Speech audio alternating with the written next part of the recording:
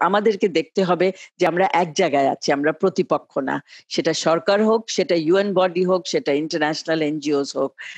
কারণ প্রবলেমগুলো এত বড় আর সামনে আমাদের এত বড় বড় সমস্যা আসতেছে, আমরা ২০ বছর পেছনে চলে যেতে পারি অন পভার্টি রিডাকশন আমাদের সোশ্যাল ইন্ডিকেটার্স যেটাতে we were doing so well এত ভালো করছিলাম, এইসব আমরা পিছনে আসতে পারি।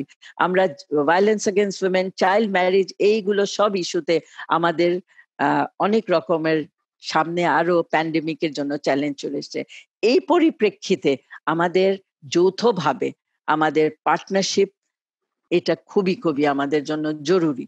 What is the mechanism what is the modality is it only যে আমি ইউএন বডি হয়ে আমি এখানে নিজে, আমি নিজের ফান্ড ইমপ্লিমেন্ট দিয়ে ইমপ্লিমেন্ট করব, আমি যাকে খুশি তাকে দিয়ে করব, নাকি আমি সত্যি সত্যি জানতে চেষ্টা করব what is the aspiration of the people of Bangladesh we must feel that the UN is standing beside us এইটা যদি না হয়, তাহলে কিন্তু আমাদের জন্য UN will become just any other donor and we don't want to see UN like that. We want to see how is UN different from other donors, being a multilateral organization. That is what we want to see UN as.